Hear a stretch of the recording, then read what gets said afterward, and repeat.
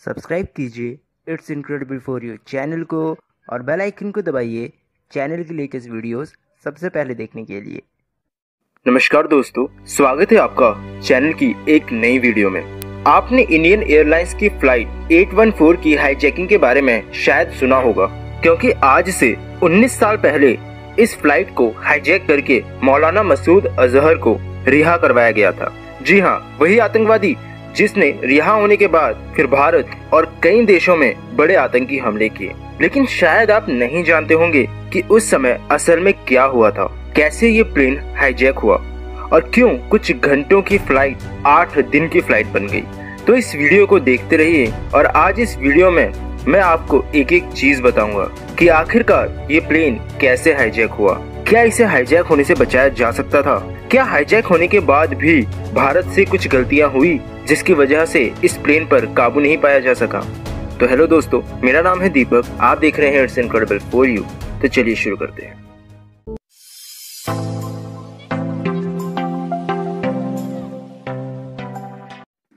उन्नीस सौ निन्यानवे क्रिसमस से एक दिन पहले 24 दिसंबर, नेपाल के काठमांडू का त्रिभुवन इंटरनेशनल हवाई अड्डा। इंडियन एयरलाइंस की फ़्लाइट 814 को शाम चार बजे के बाद उड़ान भरनी थी। इसका रूट एकदम तय और छोटा था। इससे त्रिभुवन इंटरनेशनल एयरपोर्ट से एक घंटे 20 मिनट में दिल्ली के इंदिरा गांधी इंटरनेशनल एयरपोर्ट पहुँचना था। शाम चार बजे फ़्लाइट के उड़ने की लगभग सारी तैयारियाँ पूरी हो चुकी थी। कॉकपिट में कैप्टन देवी शरण को पायलट सिंह और फ़्लाइट इंजीनियर जागिया उड़ान से पहले की लगभग सारी तैयारियाँ पूरी कर चुके थे। विमान में एक सौ छिहत्तर यात्री थे, जिसमें से ज़्यादातर नेपाल में छुट्टियाँ बिताकर लौट रहे थे, क्योंकि एक ही हफ़्ते में नया साल और नई सदी आने वाली थी। लेकिन किसी को नहीं पता था कि ये फ़्लाइट उनकी ज़िंदगी की सबसे डरावनी घटना साबित होगी, और उनमें से सारे यात्री अपनी मंजिल तक ज़िंदा नहीं पहुँचेंगे। कुछ ही समय में आईसी 814 को टेक ऑफ़ की परमिशन मिल गई, और आईसी 814 चार बजे के कुछ बाद त्रिभुवन इंटरनेशनल एयरपोर्ट से रवाना हुई। प्लेन को टेक ऑफ़ हुए कुछ ही देर हुई थी, जब प्लेन नेपाल की वायु सीमा से निकलकर भारत की वायु सीमा में आ गया और सारा कंट्रोल भारतीय एयर ट्रैफ़िक कंट्रोल को हैंडओवर कर दिया गया। प्लेन में उस समय ड्रिंक सर्विस की जा रही थी, जब chief steward Anil Sharma pilots को कॉफ़ी देने कॉकपिट में पहुँचे। लेकिन जैसे ही वो बाहर निकले, एक बंदूकधारी ने उन पर बंदूक तान दी। उन्होंने ये बात पायलट्स को बताने के लिए जैसे ही कॉकपिट का दरवाज़ा खोला, उस बंदूकधारी ने उनको धक्का मारकर वो खुद कॉकपिट में घुस गया और कैप्टन के सर पर बंदूक रख दी। अब तक सब समझ चुके थे कि प्लेन हाईजैक हो चुका है। लेकिन इसमें अकेला वो ही बंदूकधारी नहीं था, बल्कि चार और लोग थे जिन्होंने प्लेन पर पूरी तरह से कब्जा कर लिया। उस आतंकवादी ने कैप्टन से बोला कि प्लेन को पश्चिम की तरफ़ मोड़ दो। वो प्लेन को पाकिस्तान में लाहौर ले जाना चाहते थे। लेकिन कैप्टन शरण ने उन्हें बताया कि प्लेन को लाहौर ले जाने तक का ईंधन प्लेन में नहीं है। उसने पूछा कि प्लेन में कितना ईंधन है? तो इस पर कैप्टन ने बोला कि दिल्ली तक का। हाईजेकर ने कहा कि अगर दिल्ली नहीं उतरे तो कहाँ जा सकते हैं? तो कैप्टन ने थोड़ा सोचा और बोला कि बम्बई या अहमदाबाद जा सकते हैं। जिस पर उस हाईजैकर ने बोला कि बम्बई के मुकाबले लाहौर ज़्यादा पास है तो वहाँ क्यों नहीं जा सकते? असल में कैप्टन शरण भारतीय सीमा को नहीं छोड़ना चाहते थे। भारत में रात हो चुकी थी। आईसी एट वन फोर अब भी अपनी मंजिल से मीलों दूर पश्चिम में उड़ता जा रहा था।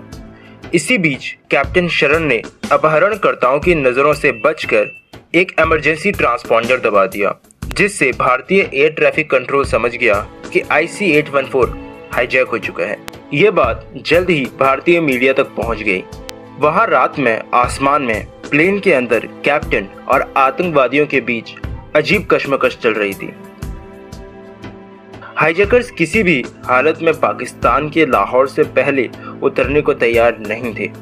वहीं कैप्टन भारतीय वायु सीमा को नहीं छोड़ना चाहते थे, क्योंकि छह महीने पहले ही पाकिस्तान से कारगिल का युद्ध हुआ था, जिसके घाव अब भी ताज़ा थे। इसी बीच खबर आई कि पाकिस्तान ने अपनी वायु सीमा बंद कर दी है। वहीं दूसरी ओर प्लेन में आठ पुरुष यात्रियों को उनकी सीटों से उठाकर एग्जीक्यूटिव केबिन में ले जाया गया और वहाँ उन्हें बाँध दिया गया, जिसमें 27 साल के रुपिन कतियाल भी थे, जिनकी अपनी पत्नी रचना से कुछ ही महीने पहले शादी हुई थी और वे नेपाल घूमकर वापस आ रहे थे। कॉकपिट में कैप्टन ने प्लेन की रफ्तार 40 प्रतिशत तक कम कर दी, ताकि अगर वो प्लेन को दिल्ली या अहमदाबाद उतार पाए तो वहाँ तब तक सुरक्षा बल अपना इंतज़ाम कर सके। लेकिन हाईजैकर्स अब भी भारत में उतरना नहीं चाहते थे। लेकिन जब कैप्टन शरण ने हाथ जोड़कर बोला कि अगर हमने विमान अमृतसर में नहीं उतारा तो विमान क्रैश हो जाएगा, क्योंकि इसमें बिल्कुल ईंधन नहीं है। ये सुनकर वो सभी हाईजैकर्स इकट्ठा हुए और कुछ बातचीत के बाद उन्होंने इस गारंटी पर विमान को उतारने की इजाज़त दे दी कि इसे उतरते ही ईंधन मिल जाएगा। आखिरकार कैप्टन की चाल काम कर गई और अब विमान अमृतसर एयरपोर्ट की तरफ़ बढ़ने लगा था। कुछ ही देर में प्लेन अमृतसर एयरपोर्ट पर लैंड हुआ और कैप्टन को लगा कि शायद अब भारतीय सुरक्षा बल ये हाईजैकिंग का नाटक खत्म कर देगा। तभी दिल्ली में अटल बिहारी वाजपेयी जी की सरकार ने अमृतसर पुलिस को प्लेन में घुसने से मना कर दिया। वो चाहते थे कि फुल ट्रेन कमांडोज या एनएसजी इस ऑपरेशन को पूरा करे, ताकि यात्रियों को हाईजैकर्स कोई नुकसान ना पहुँचा सके।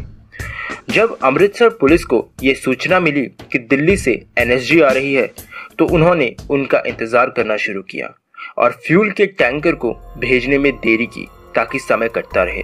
लेकिन जब प्लेन को खड़े आधे घंटे से भी ज़्यादा समय हो गया तो हाईजैकर समझ गए कि कुछ गड़बड़ है। और उन्होंने कैप्टन को उड़ान भरने के लिए बोला। उन्हें ईंधन खत्म होने की अब कोई परवाह नहीं थी, लेकिन कैप्टन ने उड़ान भरने से मना कर दिया। ये सुनकर एक हाईजैकर पीछे गया और एग्जीक्यूटिव केबिन में बंधे रुपिन कतियाल के छाती पर तेज छुरी से कई अटेम्प्ट कर दिए। जब कैप्टन को यह पता चला कि हाईजैकर्स लोगों को मारने लगे हैं और भारत की तरफ़ से कोई मदद नहीं मिल रही तो आखिरकार उन्हें उड़ान भरनी ही पड़ी। भारत ने हाथ में आया एक इतना सुनहरा मौका इतनी आसानी से गंवा दिया। जहाँ एक एक सेकंड कीमती होता है, वहाँ पर दिल्ली से अमृतसर एनएसजी को भेजने की ये जिद किसी बचकानी हरकत से कम नहीं थी। अगर उन्हें ऐसा लगता था कि अमृतसर पुलिस को इस प्लेन में कब्जा करने में मुश्किल होगी तो वो शार्प शूटर्स की मदद से प्लेन्स के टायर्स को उड़ा सकते थे, ताकि अगर हाईजैकर्स चाहें भी तब भी प्लेन उड़ ना सके। लेकिन ऐसा नहीं किया गया, पता नहीं क्यों। लेकिन इस बचकानी हरकत की वजह से I C eight one four अब फिर से भारत की सीमा से बाहर जा चुका था और इस पर कंट्रोल करना अब उतना ही मुश्किल हो गया था। पाकिस्तान सरकार ने उस समय अपनी वायु सीमा बंद कर रखी थी। इसलिए उन्होंने प्लेन को मार गिराने की धमकी दे डाली। लेकिन जब उसका कोई असर नहीं हुआ और प्लेन लाहौर की तरफ़ बढ़ता रहा तो एयरपोर्ट अथॉरिटीज ने नेविगेशन के सारे तरीके बंद कर दिए। और रनवे की लगभग सारी लाइट्स भी बंद कर डाली। अब कैप्टन को अपने प्लेन की रिज़र्व लाइट्स ऑन करनी पड़ी। फ्यूल लगभग खत्म हो रहा था और पायलट को कोई डिसीज़न लेना ही था। इसलिए उन्होंने नीचे कुछ जगमगाती लाइट्स देखी। उन्हें नहीं पता था कि रनवे को बंद कर दिया गया है और उन्हें लगा कि यह शायद रनवे है और वो उसी तरफ़ लैंडिंग के लिए बढ़ने लगे। लेकिन जब वो थोड़ा नीचे आए तो उन्हें पता चला कि उन्होंने बहुत बड़ी गलती कर दी है। क्योंकि जिन लाइट्स को वो रनवे समझकर नीचे आए थे, वो असल में हाईवे पर चल रहे ट्रैफ़िक की लाइट्स थी। प्लेन इतना नीचे आ चुका था कि अगर जल्द ही इसे लैंड नहीं किया जाता तो पूरी संभावना थी कि 814 क्रैश लैंड कर जाए। जब पाकिस्तान एयरपोर्ट अथॉरिटी को इस बारे में पता चला तो उन्हें लगा कि पायलट्स के पास कोई रास्ता नहीं है। इसलिए उन्होंने उन्हें नेविगेट करना शुरू किया। और रनवे को उनके लिए खोल दिया। रनवे पर लैंड होते ही फ्यूल के खत्म होने की वजह से प्लेन का दाहिना इंजन ठप हो गया। प्लेन अब दूसरी बार लाहौर में लैंड कर रहा था, लेकिन ये पड़ाव भी कुछ ही देर का था। वहाँ प्लेन में रुपिन कतियाल और कुछ लोगों के शरीर से बहुत खून बह रहा था और कैप्टन ने पाकिस्तानी अधिकारियों से अनुरोध किया कि कुछ घायल यात्रियों, महिलाओं और बच्चों को इस एयरपोर्ट पर उतार दे, ताकि इन्हें जल्द से जल्द चिकित्सा मिल सके। लेकिन पाकिस्तानी अधिकारी किसी भी हालत में किसी यात्री को उतारने को तैयार नहीं थे। उन्होंने कहा कि तुम्हें ईंधन चाहिए और हम तुम्हें ईंधन देंगे। लेकिन किसी भी यात्री को तुम यहाँ नहीं उतार सकते, क्योंकि हम किसी भी हालत में इसमें शामिल नहीं होना चाहते। खैर, अजीब सी बात है कि जिस आतंकवादी को उस समय उतारने के लिए प्लेन को हाईजैक किया गया था, वो ही आतंकी आज पाकिस्तान में खुलेआम घूमता है। लेकिन अब उन्हें नहीं लगता कि उन्हें इस पर कार्यवाही करनी चाहिए। लाहौर में कुछ ही देर में प्लेन को ईंधन मिल गया और अब प्लेन फिर से किसी अनजानी मंजिल की उड़ान पर उड़ पड़ा। वहीं भारत में ये अफवाह फैल गई कि प्लेन के कुछ यात्रियों को हाईजैकर्स ने मार दिया है, जिसकी वजह से सरकार पर दबाव और बढ़ गया। वहाँ प्लेन में हाईजैकर्स ने कैप्टन को, प्लेन को अफ़गानिस्तान में काबुल ले जाने को बोला, लेकिन रात में प्लेन को काबुल में उतारने की कोई सुविधा नहीं थी। इसलिए हाईजैकर्स के कहने पर प्लेन को दुबई की तरफ़ मोड़ा गया। इसी बीच रुबिन कतियाल के घाव से बहुत खून बह चुका था और रात में किसी समय उनकी मृत्यु हो गई। उनकी पत्नी रचना को अभी भी नहीं पता था कि रुपिन कतियाल के ऊपर चाकुओं से हमला किया गया है और उनकी मृत्यु हो गई है। रात लगभग खत्म होने वाली थी जब I C eight one four Dubai airport पर पहुँचा। भारत ने यूएई के अधिकारियों से बात करी और उन्हें ये समझाने की कोशिश की कि वो कमांडो ऑपरेशन की इजाज़त दे दें। और जब तक भारत वहाँ कमांडोज भेजता है, तब तक किसी हालत में प्लेन को वहाँ रोके रखे। लेकिन यूएई के अधिकारियों ने इसके लिए मना कर दिया। लेकिन उन्होंने हाईजैकर्स को बोला कि वो प्लेन को ईंधन तभी देंगे जब वो घायल और कुछ यात्रियों को दुबई एयरपोर्ट पर उतार दे। हाईजैकर्स इस बात के लिए राज़ी हो गए। दुबई एयरपोर्ट पर कुछ घायल यात्रियों और रुपिन कतियाल के शव को उतार दिया गया और आईसी एट वन फोर ईंधन लेकर फिर अनजानी जगह की तरफ़ उड़ पड़ा। 25 दिसंबर 1999 क्रिसमस का दिन था, लेकिन आईसी एट वन फोर में बचे हुए बाकी यात्रियों और कैप्टन के लिए कोई खुशी की बात नहीं थी। पिछले 18 घंटों से विमान हाईजैकर्स के कब्जे में था। इतनी लंबी उड़ान होने की वजह से यात्री विमान में सोए हुए थे। लेकिन जब उनकी आँख खुली तो उन्हें पता चला कि विमान अफ़गानिस्तान में कंधार उतर गया है। उस समय अफ़गानिस्तान में आतंकवादी संगठन तालिबान का कब्जा था। वो उस समय ओसामा बिन लादेन का भी गढ़ हुआ करता था। दुबई में छुड़ाए गए यात्रियों से जानकारी लेकर भारत की इंटेलिजेंस एजेंसीज ने पता लगा लिया था कि उनका सामना प्रशिक्षित फिदाइन आतंकवादियों से है। लेकिन आखिर क्यों उन्होंने इस प्लेन को हाईजैक किया? ये अब भी एक राज था। वहीं दूसरी ओर, भारत में रुपिन कतियाल के अंतिम संस्कार में सैकड़ों लोग इकट्ठा हुए और भारत के ऊपर इसको सुलझाने का दबाव और भी बढ़ने लगा था। लेकिन प्रधानमंत्री वाजपेयी अब भी झुकने को तैयार नहीं थे। भारत उस समय तालिबान को मान्यता नहीं देता था और खुलकर उसका विरोध करता था। लेकिन इस संकट को सुलझाने के लिए उसके साथ बातचीत करना ज़रूरी था। इसलिए भारत ने वार्ताकारों की एक टीम बनाकर चार दिन बाद, यानी कि 27 दिसंबर को अफ़गानिस्तान भेजी। इस टीम के साथ कमांडोज को भी छुपकर ऑपरेशन के लिए भेजा गया था। लेकिन अफ़गानिस्तान में उतरते ही तालिबान लड़ाकों ने प्लेन को घेर लिया, जिसकी वजह से कमांडोज का एकदम से आईसी एट वन फोर पर झपटना मुश्किल हो गया और आखिरकार बातचीत ही शुरू करनी पड़ी। मुख्य आतंकी ने बातचीत में बोला कि हमें मौलाना दे दो। हम उसके मामले में कोई सौदाबाजी नहीं करेंगे। आखिरकार बात साफ़ हुई। प्लेन को हाईजैक मौलाना मसूद अजहर को छुड़वाने के लिए किया गया था। उस समय मसूद अजहर कश्मीर घाटी में हमले के लिए जिम्मेदार हरकत मुजाहिदीन का सेक्रेटरी जनरल था। इससे पहले भी मसूद अजहर को छुड़ाने की दो बार कोशिशें की जा चुकी थी जिसमें एक बार विदेशी पर्यटकों को अगवा करके उन्हें मार दिया गया था और एक बार जेल तोड़ने की कोशिश की गई थी, जिसमें एक आतंकी मारा गया था। मसूद अजहर की रिहाई उन हाईजैकर्स की पहली मांग थी, जिनके साथ वो 35 और लोगों की रिहाई और 20 करोड़ अमेरिकी डॉलर्स भी चाहते थे। लेकिन इसी बीच तालिबान ने दखल देकर सबको चौंका दिया, जब उसने कहा कि हाईजेकर्स उन कुछ लोगों की रिहाई और 20 करोड़ अमेरिकी डॉलर्स की मांग छोड़ दें, क्योंकि ये इस्लाम के खिलाफ है।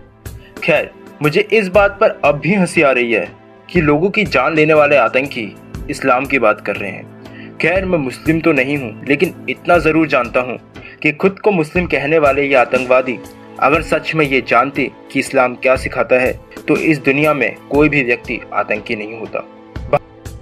भारत को आखिरकार अपने लोगों की जान बचानी थी, इसलिए भारत को उनकी बातों को मानना पड़ा। और आठवें दिन भारत और तालिबान के बीच समझौता हुआ। जिसमें तीन आतंकवादियों को रिहा किया गया। उस समय छोड़े जाने वाले तीन आतंकी थे मौलाना मसूद अजहर, जो कि कश्मीर घाटी में हमला करवाता था, और हरकत मुजाहिदीन का सेक्रेटरी जनरल था। दूसरा आतंकी था उमर शेख।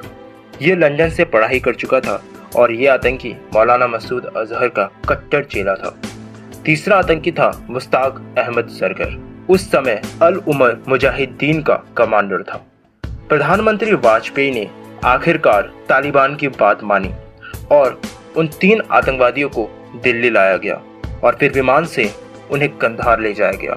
थोड़ी ही देर में वो तीनों आतंकवादी तालिबान के संरक्षण में कंधार से खुलेआम रवाना हो गए और I C eight one four अब भारतीय सुरक्षा कर्मियों के हाथों में था। आखिरकार आठ दिनों बाद, नए साल से ठीक एक दिन पहले उन बंधक यात्रियों को सुरक्षित बचा लिया गया और एक को छोड़कर सारे यात्री सुरक्षित दिल्ली एयरपोर्ट पहुँच गए। दिल्ली एयरपोर्ट पर भारत की जनता ने उनका शानदार स्वागत किया और ये जश्न अगली सदी की सुबह तक चलता रहा। लेकिन एक चीज़ जो सबको सता रही थी, वो ये कि क्या भारत ने उन तीन आतंकवादियों को छोड़कर कोई बहुत बड़ी गलती तो नहीं कर दी?